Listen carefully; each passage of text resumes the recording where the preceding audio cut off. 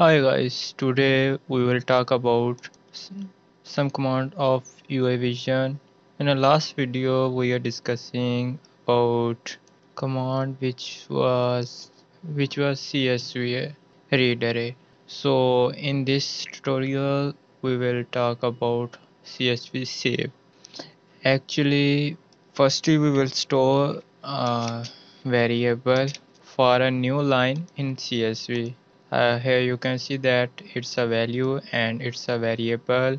It's an internal variable. So in case of internal variable uh, it's necessary to put a exclamatory mark on a beginning. So and the next line we will put here csv csv save and here we will give here only one parameter which is a name of csv here we will check here test read test data csv so in case of this firstly we will clear this and save this csv and again we will try to save this. You can see that it's properly run and uh, we will see it's csv actually here is a csv so you can see that its data appear in a csv so and next command. And next command is csv array. In case of csv array actually it's a save array of csv array of javascript in uh, csv like here is first we will show firstly i will show what what is the two dimension array 2d array structure. We can see that it's a 2d it's a. it's a two dimension array. So in case of 0 0 it's an index of firstly index of row and second is a number of uh, index of column. So in case of next is one and column is same. So in a uh, third row it's a two and a row a column is the same. So in case of other column only increase a column index okay? First is a index of row and second is a index of column. So in this case we will discuss here firstly make a, an array like here we will execute execute a script sandbox variable a is equal to array save array. And in case of array here we will put name here we will put a name of array and here we will put name of csv firstly we will clear a data of csv so now we will run it. Name class section. So return it. Actually previous method was uh, complicated. So when so we will test it uh, you can see that it's properly run and appear in a csv it's properly append here. And uh, in a previous uh, and next is delete all cookies. Actually it's uh, used to delete all cookies here. It's no parameter is required. Just it's uh, command and run it. So you can run it and it will delete all cookies. So do actually it's uh, used with the other command like here do and after of it we will enter here repeat if uh, and we will use it repeat if like like uh, I uh, I want to do something while condition is not satisfied so I will enter here condition so firstly like uh, assert assert assert value. So while its assert value is not i am okay? And while it's not satisfied so it will not stop. But in case of its uh, we will require we will require uh, ignore ignorance of error. Cs last command okay. And in case of this uh, I will require uh, ignore of ignorance of error. So ignore, for ignore any type of error here we will put true okay. And we will run it. Actually it's not required so I commented comment out it. So actually a mechanism of it that uh, it will go here and check assert a and uh, assert will raise an error if it's not satisfy this condition. If its value of this uh, text box is not is equal to uh, im so it will rise an error. If it's it will rise an error so this condition will check uh, this variable will check uh, last command is properly run or not. If it's not properly run then it will it will repeat. If it's not properly run okay? Actually yes. Uh, actually here we will need to put uh, exclamatory mark for not okay? Because when it's uh, go there uh, and it will generate a false.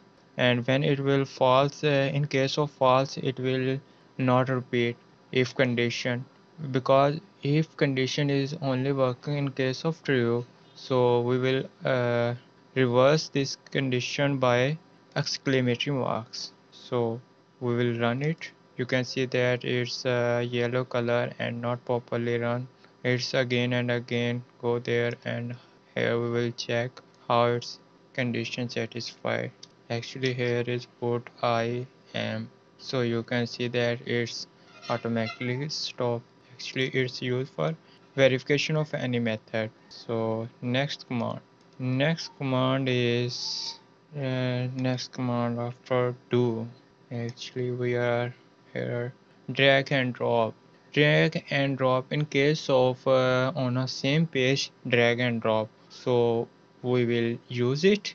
Actually I will show you here is a page and uh, I want to put here I will comment out it. Actually delete it's because it's not required.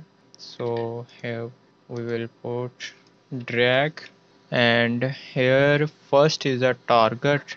After select uh, before selecting the target we will select the place where we will drop it. And actually it will give a locator. So we will cut it from here and paste in a value and select our original target.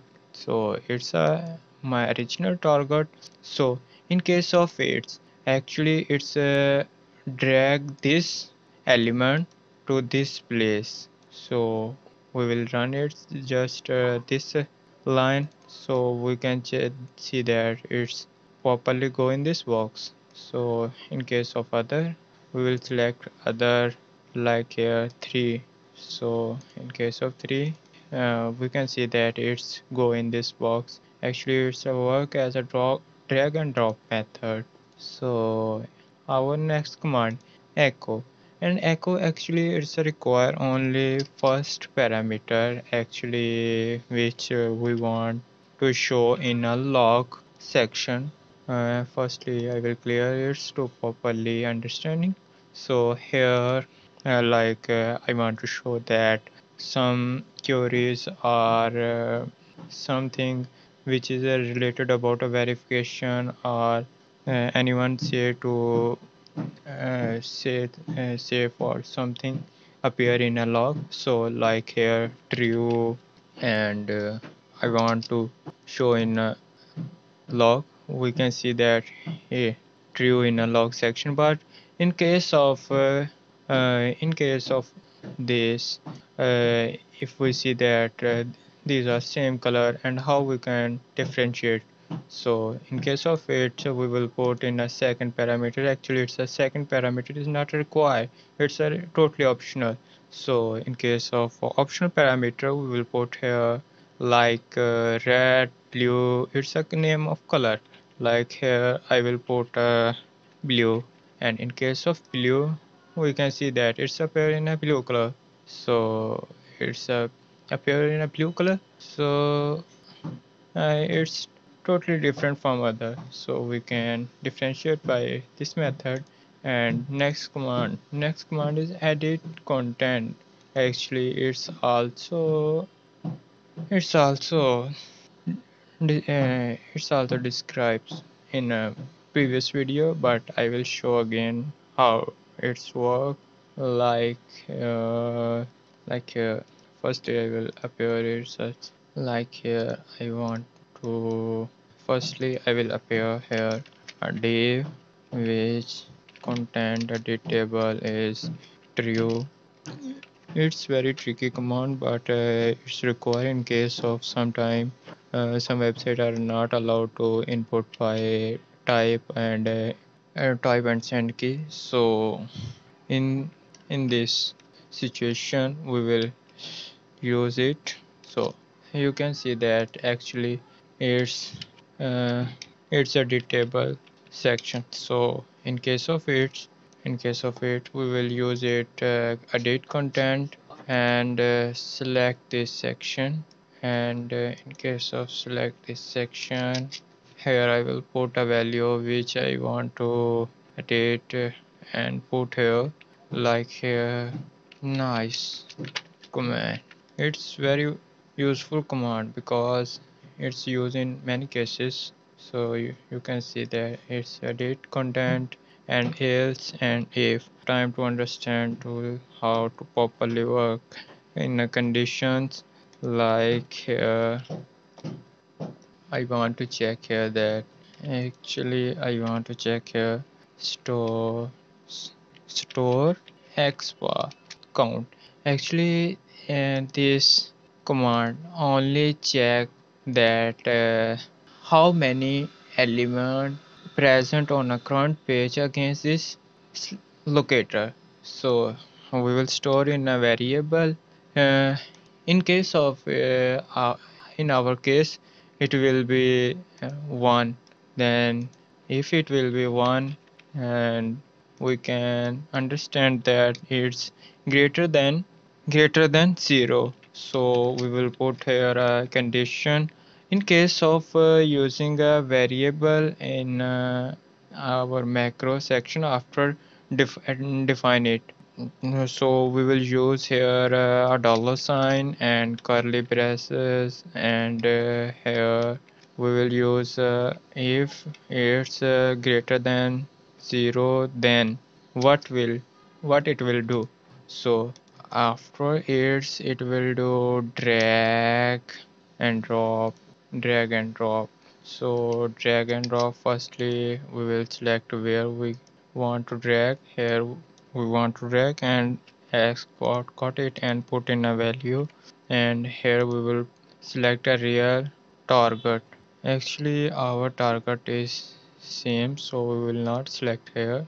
If this target is appear then it will run. In other case it will not run so we will put here. And uh, here we will put end command.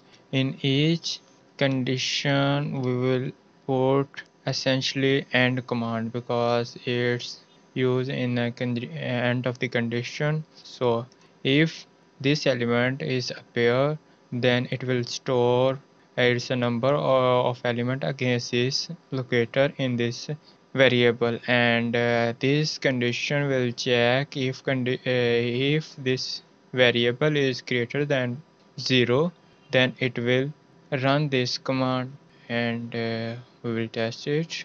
Actually here we will need to put x path. So we will put here x path of it x path. So a and its text is text is is equal to 4 and by its we can check that it's right or not. So we can see that.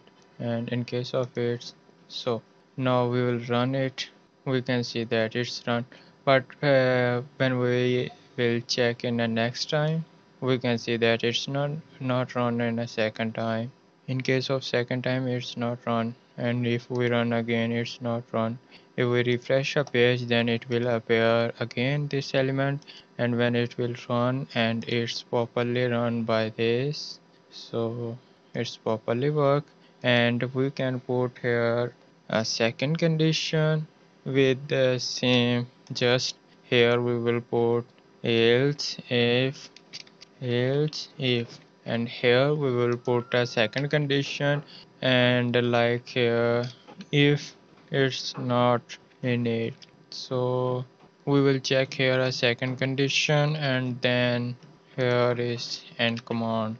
In case of if else if actually it will go from here. It will check a condition. If this condition is satisfied then run this section below the section and not run this section. And if it's not uh, satisfy this con condition it will check a second condition. If it's properly satisfied and then it will go on this section and run this section here like a store variable and so on. We can see that it's section. So it's run, run this section. So in other case here else if and and we can also see we can also understand how its work run and add. And last command is execute script and execute script and sandbox. So we will put here execute script. Actually uh, these are same command but if we choose this command execute script we can interact with the page and uh, we can affect uh, any element of current page by this command but in case of execute script sandbox we cannot interact with the element and uh, and here in case of it actually when I put this condition. We can see that it's a scroll down and here is the same condition and I will put here. And when I will run it we can see that it's scroll down so we can interact with the page with the execute script but in other case we uh, if I use this condition it's not work it will it will rise an error. Because it's not a proper command for this because it's uh, run uh, run only like only javascript like a variable and put and some calculation and return it and save. So in case of interact with the page so we will choose execute script and uh, if we would not uh, interact with the page then we will choose uh, execute script sandbox